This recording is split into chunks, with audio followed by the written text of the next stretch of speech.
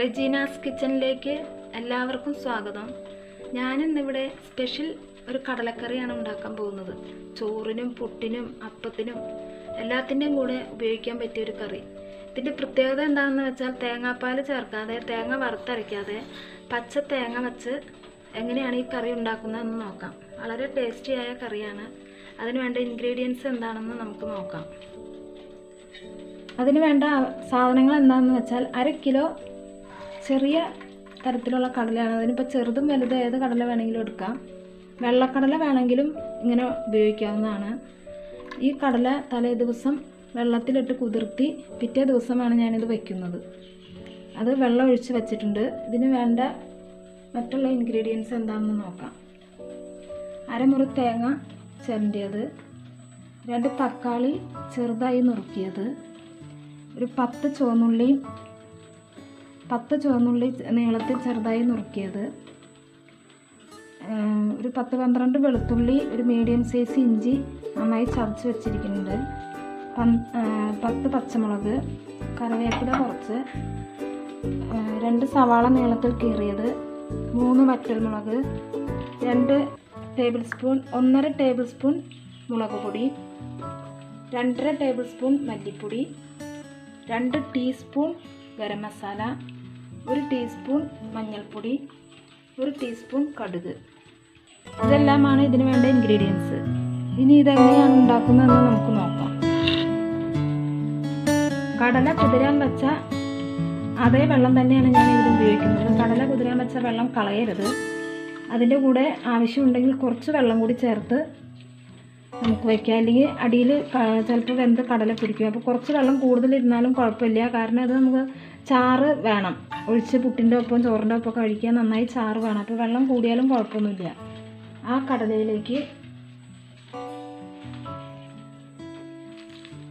സവാള നീളത്തിൽ രണ്ടെണ്ണം നുറുക്കിയത് ഇട്ട് കൊടുത്തു. പത്ത് പച്ചമുളക് നീളത്തിൽ കീറിയത് ഇട്ട് കൊടുക്കാം. പച്ചമുളക് ഇഷ്ടമുള്ളവർക്ക് എരിവ് കുറവ് വേണമെന്നുള്ളവർക്കും കൂടുതൽ വേണമെന്നുള്ളവർക്കും അളവിന്റെ അളവ് കൂട്ടോ കുറയ്ക്കോ ചെയ്യാം കേട്ടോ തക്കാളി നുറുക്കിയതും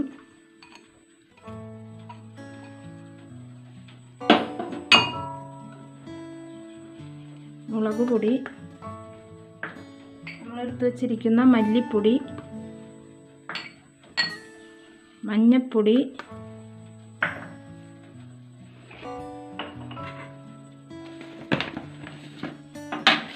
പാകത്തിന് ഉപ്പ്.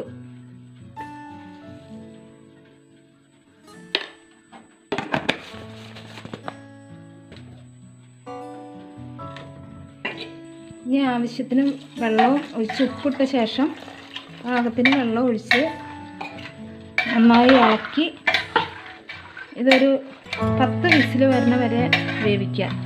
ചില കുക്കറിൽ പത്ത് പന്ത്രണ്ട് വിസിലൊക്കെ വേണ്ടി വരും. എന്റെ ഈ കുക്കറിന് ഒരു പന്ത്രണ്ട് വിസിലെങ്കിലും ഉണ്ടെങ്കിലാണ് അത് വേവുള്ളൂ.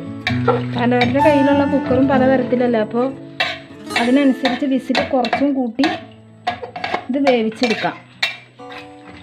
ഇത് വെന്ത ശേഷമാണ് മറ്റുള്ള കാര്യങ്ങൾ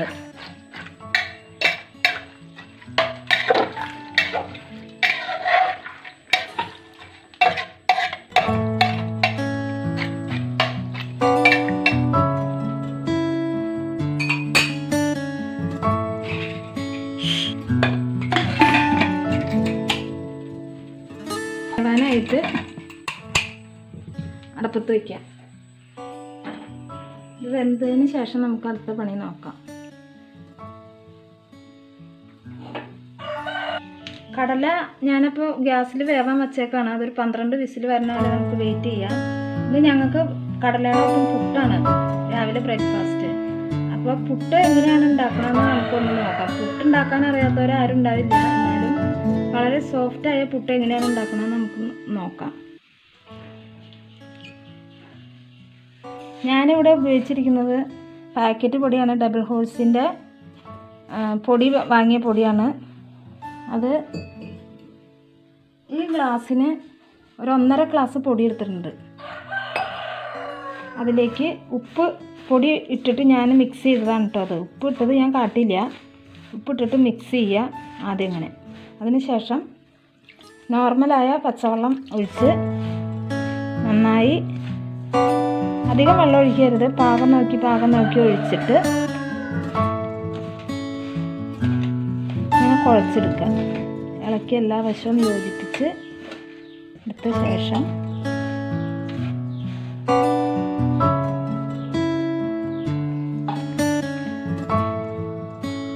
പുട്ടിങ്ങനെ നന്നായി നനച്ചെടുക്കുക. പുട്ടിന്റെ പാകത്തിന് വെള്ളം ഒഴിച്ച് നന്നായി നനച്ചെടുത്തത് ഉപ്പ് പാകമുണ്ടോ എന്ന് നമുക്ക് നാവിൽ വെച്ച് നോക്കാം. അപ്പോൾ അതിൽ ചെറിയ ചെറിയ കട്ടകൾ ഉണ്ടാവും അതിനെന്താ ചെയ്യേണ്ടതെന്ന് വെച്ചാൽ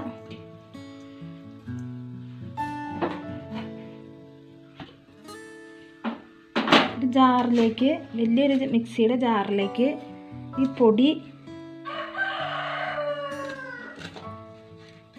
പകുതി വാരി ഇട്ടതിന് ശേഷം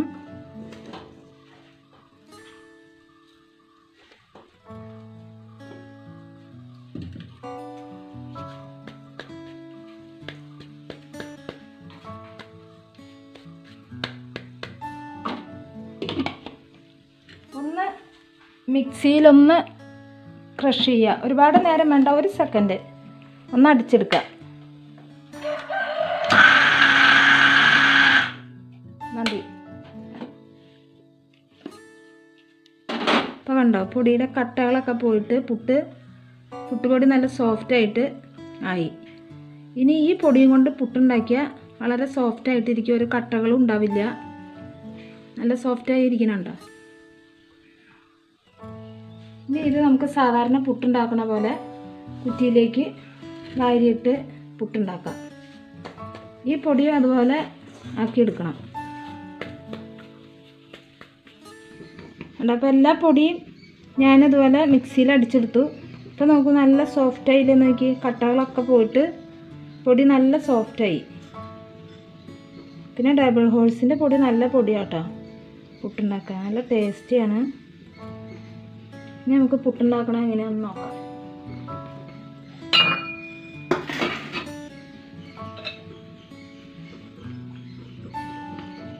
ആദ്യം കുറച്ച് തേങ്ങ ഇട്ടിട്ട്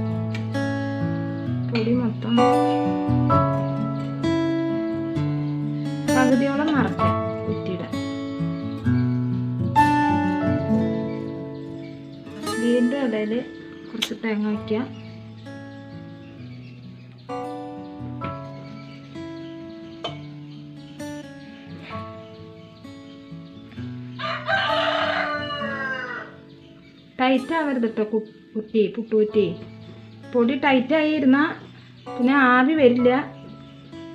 ലൂസാക്കി വേണം പൊടി നിറയ്ക്കാൻ. അതിന്റെ മുകളിലും തേങ്ങ വച്ചിട്ട് ചൂടായി കൊണ്ടിരിക്കുന്ന പുട്ടുകുറ്റിയുടെ മുകളിലേക്ക് വയ്ക്കാം പത്ത് മിനിറ്റ് മതിയാവും പുട്ടാവാൻ.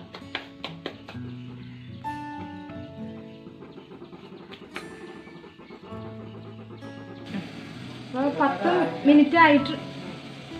സോറി ആദ്യം ഒരു ഇതിന് തെറ്റിപ്പോയതാണ്. ക്ഷമിക്കണം. ഇത് ഇപ്പോൾ പത്ത് മിനിറ്റ് ആയിട്ടുണ്ട്. അപ്പോൾ നമുക്ക് അതെടുക്കാം. ഇതിന്റെ മുകളിൽ ഒരു മീൻ കവറിങ്ങുള്ള കാരണം പെട്ടെന്ന് കൈ കൊള്ളില്ല അത് നല്ല ചൂട്. അപ്പോൾ നമ്മുടെ സോഫ്റ്റ് പുട്ട് ഇവിടെ റെഡിയാണ് കണ്ടോ? എന്ത് സോഫ്റ്റ് ആയിട്ട് പുട്ടിരിക്കണേന്ന് നോക്കിയേ?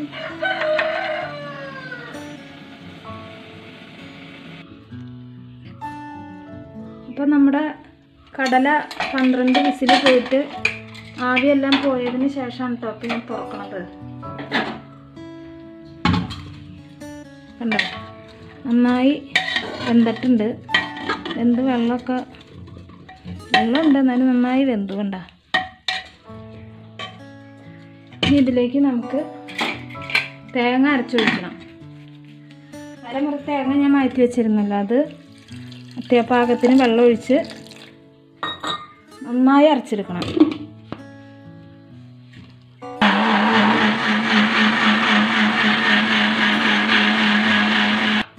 നമ്മുടെ തേങ്ങ നന്നായി അരച്ചെടുത്തിട്ടുണ്ട്.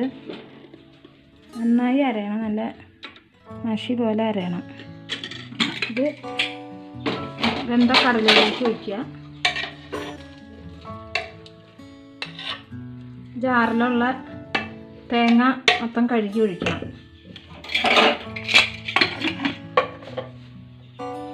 ഞാൻ ജാറിൽ ഉള്ള തേങ്ങ ബാക്കിയുണ്ടായിരുന്ന തേങ്ങ കഴുകി ഒഴിച്ചു ഞാൻ.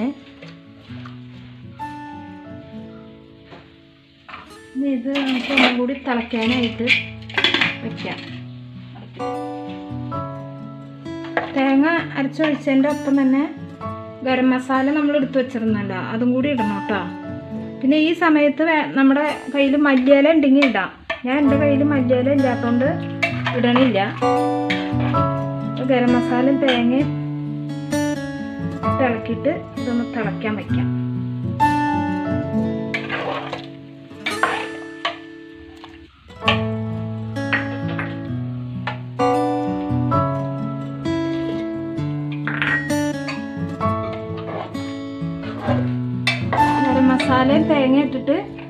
പാകത്തിന് നമുക്ക് വേണ്ട വെള്ളം ആവശ്യത്തിന് ഒഴിച്ചിട്ടെന്ന് വെച്ചാൽ ഒരുപാട് വെള്ളം കൂടി പോകരുത് കേട്ടോ അപ്പോൾ ടേസ്റ്റ് ഉണ്ടാവില്ല. പാകത്തിന് വെള്ളവും ഒഴിച്ച് ഒന്ന് നന്നായി തിളയ്ക്കാൻ വയ്ക്കാം നേരം കൊണ്ട് നമുക്ക് ഈ കറി താളിക്കാനുള്ള പണികൾ നോക്കാം. ചീഞ്ചട്ടി നന്നായി ചൂടായ ശേഷം രണ്ട് ടേബിൾ സ്പൂൺ വെളിച്ചെണ്ണ ഒഴിക്കുക. നന്നായി ചൂടാവണം.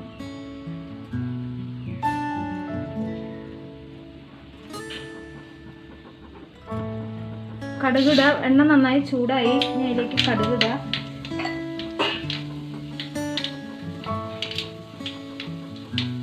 കടുക് നന്നായി പൊട്ടിയതിന് ശേഷം നമുക്ക് വറ്റമുളക് ഇടാം.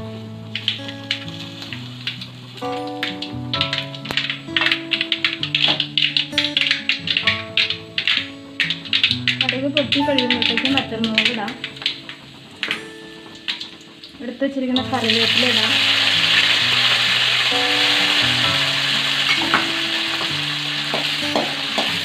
ഒന്ന് മൂത്ത് വരുമ്പോൾ നമുക്ക് ഇഞ്ചിയും പച്ചമുളകും സോറി ഇഞ്ചിയും വെളുത്തുള്ളിയും നമ്മൾ ചതച്ച് വെച്ചിട്ടുണ്ടല്ലോ അതിടാം.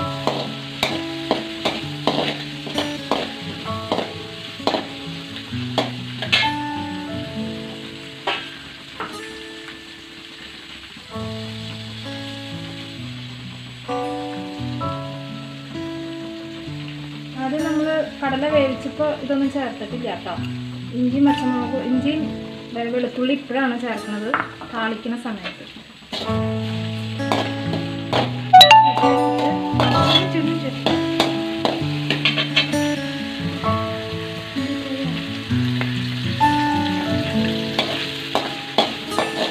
ഇഞ്ചിയും വെളുത്തുള്ളിയും പറിച്ചത് ഇട്ടിട്ട് മീഡിയം തീയാക്കിയിട്ട് നന്നായി മൂത്ത്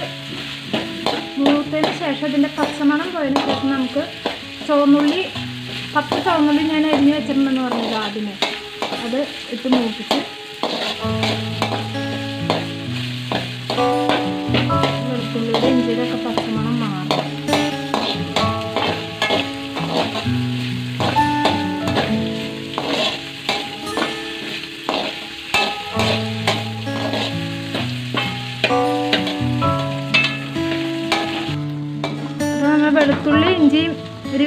നന്നായി മൂത്ത് വന്നിട്ടുണ്ട്.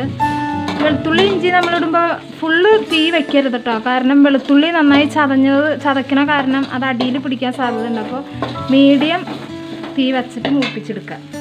ഇനി ഇതിലേക്ക് ചുവന്നുള്ളി ചെറു നീളത്തിൽ കട്ട് ചെയ്ത് വെച്ചത് ഇട്ട്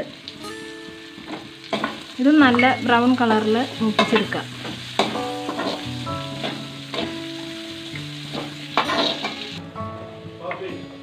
തേങ്ങയും മസാലയും നമ്മൾ ഇട്ടതിന് ശേഷം തിളച്ചിട്ടുണ്ട്. ഈ സമയത്ത് നമുക്ക് ഉപ്പുണ്ടോയെന്നൊന്ന് നോക്കാം.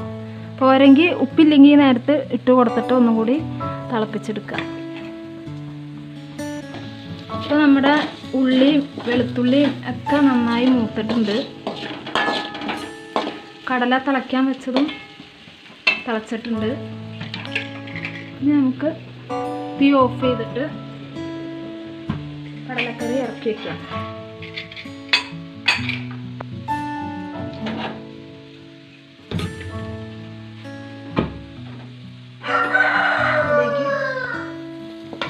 ചേർക്കാം.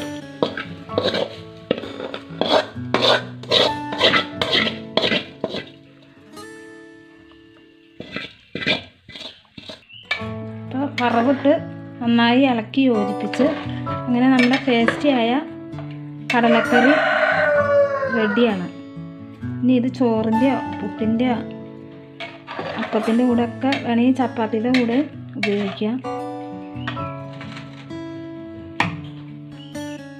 നമ്മുടെ ടേസ്റ്റിയായ കടലക്കറി പുട്ടും റെഡിയായി ഇതുപോലെ നിങ്ങളൊന്ന് ട്രൈ ചെയ്ത് നോക്കണം. എന്നിട്ട് എനിക്ക് അതിന്റെ കമന്റുകൾ അറിയിക്കണം. അപ്പോൾ എല്ലാവർക്കും നന്ദി നമസ്കാരം.